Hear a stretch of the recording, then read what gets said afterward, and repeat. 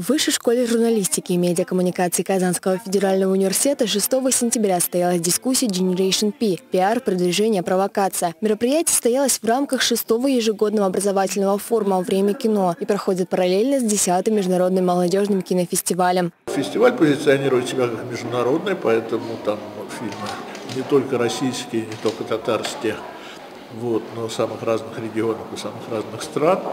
Э, и вот в наших списке премий, во всяком случае, представлены страны от США до Ирана. Центральным событием форума в шоуруме Высшей школы журналистики и медиакоммуникации КФУ стала дискуссия Generation P – пиар, продвижение, провокация. Основной темой стала нецензурная лексика и другие выразительные средства киноязыка. На данный момент брань на экране – это один из самых радикальных и спорных приемов. Авторы, они сами понимают, э, там, для кого и как они создают фильмы. Порой бранные слова в кинематографе могут сделать акцент на важности сцены или в целом ставящейся в фильме проблемы. Использование мата может помочь автору подчеркнуть темные стороны жизни, выделить беспросветность, ужас и трагизм бытия. Если это художественно обосновано, это должно быть. Вот. И, соответственно, должны быть какие-то возрастные ограничения.